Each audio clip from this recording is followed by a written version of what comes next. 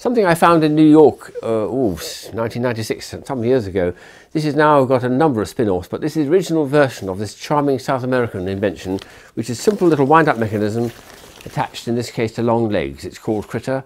No more packaging than just a paper bag, that's all you had it in. But, and it's got little feet, which I rather like, and a simple little motor with a weight on the ends, which makes it judder around. And it just sat on the table and did a lovely little action. The original Critter, and now there's so many different spin-offs. I've got a few of them, but I think my heart goes out to the original one, which was delightful.